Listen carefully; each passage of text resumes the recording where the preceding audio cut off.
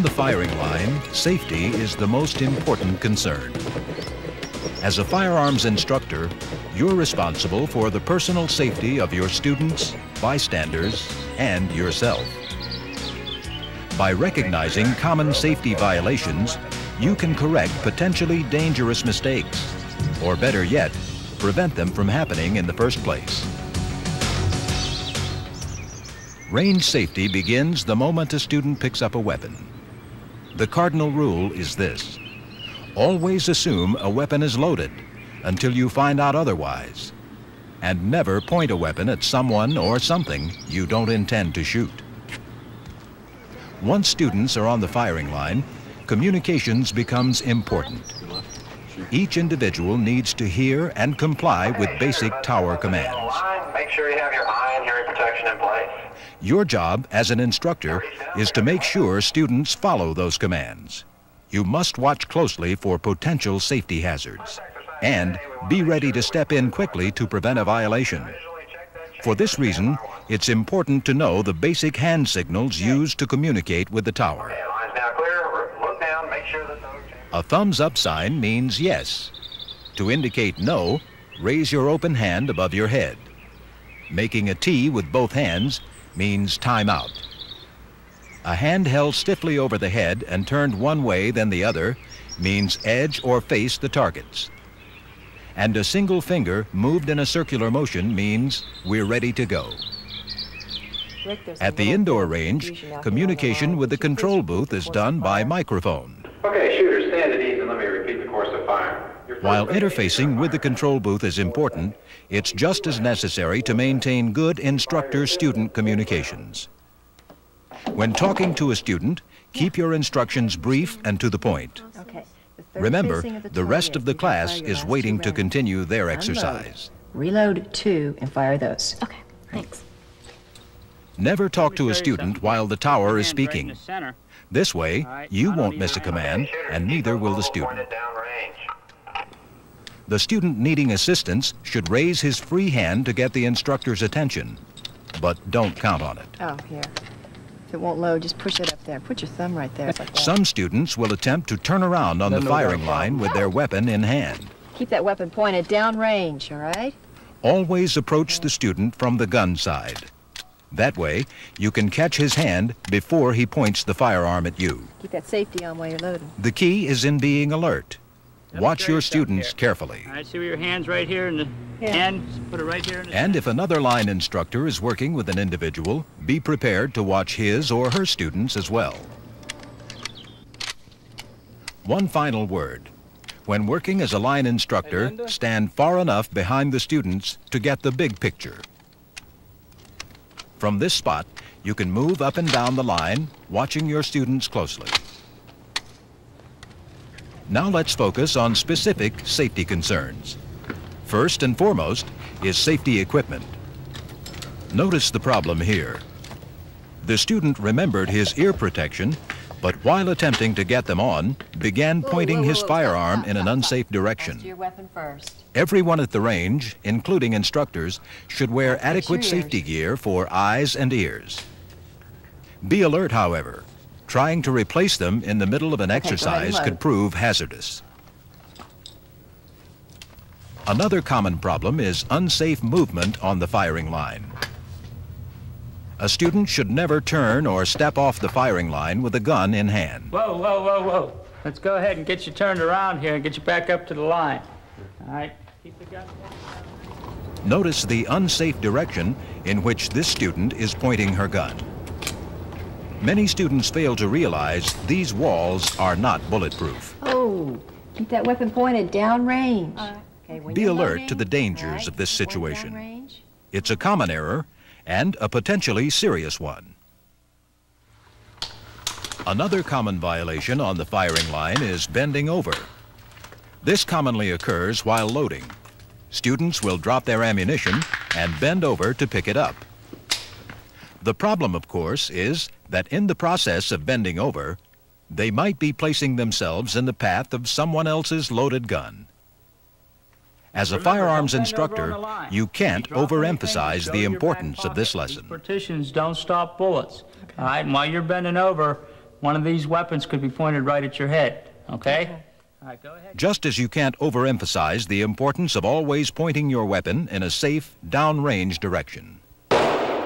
Notice how this student pulls his revolver back toward his chin after shooting. At this point, you can clearly see the weapon is pointed in an unsafe, upward position. Let's see how the instructor corrects this student.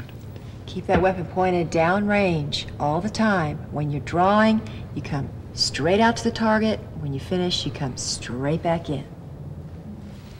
As we see again in slow motion, the correct procedure is to keep the muzzle of the weapon always pointed downrange downrange. until it's ready to be holstered. You're gonna draw Any accidental discharge will then do minimal damage. And keep this in mind when working in an indoor range. Here, the concrete floor and steel ceiling may cause bullets to ricochet dangerously. Be especially alert at the outdoor range where the danger of bullets exiting the confines is very real. And let's face it, accidents do happen, especially when a student draws a weapon with his finger on the trigger. It can happen as quickly as this. Here, a line instructor shows the correct way to draw the weapon. Using holsters that cover the trigger guard is one way to prevent these accidents. Okay, when the target's faced, I want you to draw and fire six rounds. Six rounds only.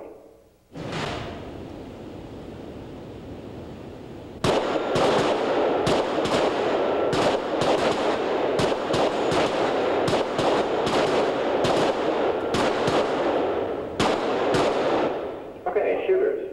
I want you to unload and holster an empty weapon. Once you've got your weapon secured back in the holster, go ahead and put your hands behind your back.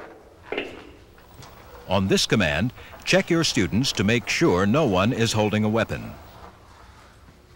Only then can the line be declared safe. Okay, the line's now safe. We're going to be bringing the. An unloaded weapon should be carried with the cylinder open We're going to have here this morning. or in the holster. Unloaded exercise. What we're looking for is But perhaps the most important safety rule is the most obvious. the line unloaded. Treat every weapon as if it were loaded. Enforcing just this one rule can make every instructor's job a lot easier. Okay, that was good that you double checked. Never trust your memory. We've already looked at a number of safety rules which apply to all firearms. At this point, let's review specific safety concerns associated with various types of weapons used at the center. Here are some things to look for when working with semi-automatic handguns. Students loading semi-automatics should be watched carefully, making sure they keep their fingers off the trigger. As always, make certain their weapons are pointed in a safe direction. Pay close attention while students charge their semi-automatics.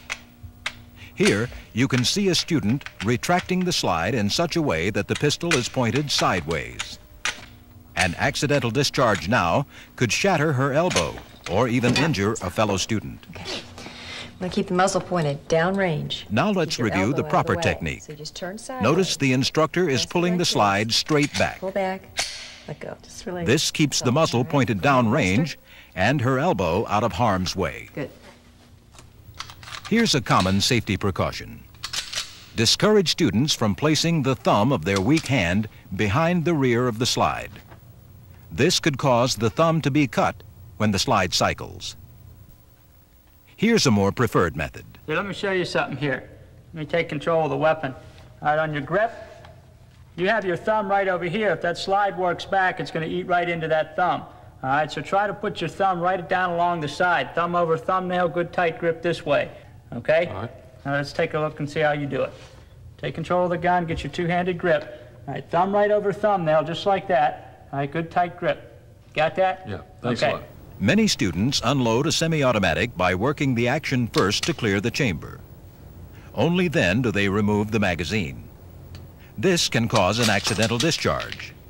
Here's why. Working the slide with the magazine still in the gun, the student may have inadvertently loaded another round. This pistol was charged and is ready to fire. As a firearms instructor, it's vital that you watch your let's students unload their weapons. Let me have your magazine. It's also critical that you make sure all weapons have been uncocked right. before being holstered. First thing. On the firing range, never take anything for granted. And as an instructor, don't assume anything until you're certain all the weapons are empty and the line is safe. Lock it to the rear. Okay. So you look inside and you take your little finger. All right. Okay, go ahead and holster it. Up. Forget that. That's good, holster. Now let's review some safety rules involving long arm weapons. One cannot overstate the danger of a shotgun blast, particularly when multiple shot is used. For this reason, it's crucial that the student and instructor know where the muzzle of the weapon is pointed at all times. It's easy to see how an accident can happen. Notice when the student turned toward the instructor how her shotgun muzzle swept the line. Keep that gun pointed downrange now. Don't let it swing side to side. Keep it level to the ground. It can happen just as easily with a rifle. Hey, Linda. Remember, it's up to you to ensure that all weapons remain pointed in a safe downrange direction. Student next to you. It's also vital to make sure the muzzle of any long arm weapon is kept level with the ground. Not pointing up, where a round could clear the Don't want it protective berm over that berm and possibly injure someone who may be passing by. We got to keep it level into the ground. So when you fire, don't raise it up. Just keep it right level to the ground. Now let's consider loading technique. Special attention must be given when a student is working with an AR-15 semi-automatic rifle. See what happens when this T-shaped charging handle is not secured before releasing the bolt? If a student's cheek were placed here, as it would be for firing, a serious laceration could occur. Stop. Let me have the weapon. Now let's watch how a round is I properly show you something here. This is very important. The T-shaped handle is pulled back and the bottom of this bolt latch is pushed in to lock the bolt in position. The charging handle is then pushed forward into a secure position. Only at this point is the top of the bolt latch pressed, releasing the spring-pressured bolt, thereby chambering The around. bolt latch. Let the bolt go forward. Okay. All right. Go. Pay special attention when students are clearing a long arm weapon. Here, a student is clearing the AR-15. Notice how he first moves the selector switch into the S position for safety. He then removes the magazine. The bolt is locked to the rear and the chamber is inspected. This weapon may now be transported in the port arms position. Okay. Check the chamber. Go ahead and bring it to a port arms position. There are other concerns for long arms, particularly with respect to the shotgun. Here, the student is committing several errors which could jeopardize her safety. Consider her stance. Notice how the student's body is bladed to her target. This kind of stance will allow the shotgun to slip during recoil. Here, you see that her middle finger is placed right next to the trigger guard. That finger could be seriously injured when the weapon recoils.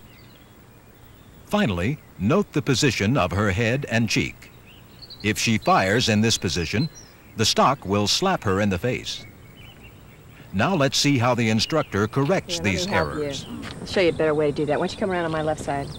The instructor's stance is squared to the target. Hold it up. You want your shoulders Her cheek is pressed firmly against the shotgun stock like to prevent this. injury during recoil. Also, notice the position of the butt of the gun, securely held in the pocket and away from the shooter's bicep.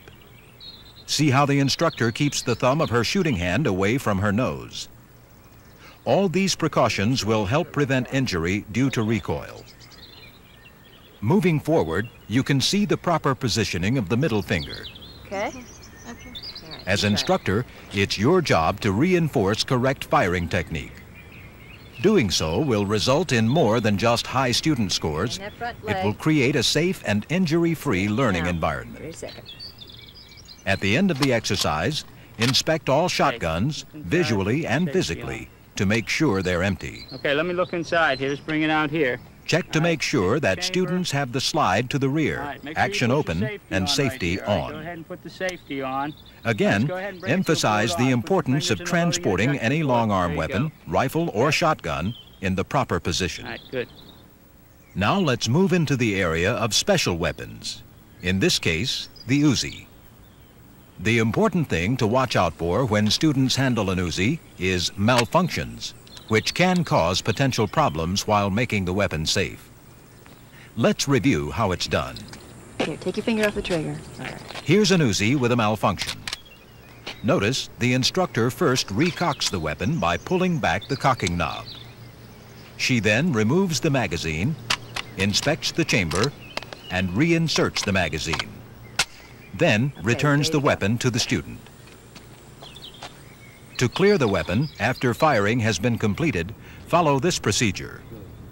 First, recock the weapon, locking the bolt to the rear. Next, inspect the chamber, remove the magazine, then visually and physically check the chamber area. The bolt is then released by pulling the trigger. You then reset the safety switch to S. This is the All right, good, procedure that good. must be used to ensure an Uzi is safe. Let's see what There can got. be no shortcuts. on. For confirmation, inspect the weapon completely. By now you should realize the firing range is no place for carelessness. The briefest lapse of attention could result in a dangerous, even deadly mistake. It's not easy. As a firearms instructor, you must be alert at all times. Level with the ground. You must be quick to spot a violation and even quicker to step in and correct it. It's a mentally exhausting job, but it's a crucial one. Knowing what to look for helps. So does knowing how to prevent or correct safety violations. In the end, however, it's on your shoulders. Range safety is ultimately the responsibility of each and every firearms instructor. It's a commitment to your students, your colleagues, and to yourself. Your weapons up to your shoulder. Step back with your strong foot.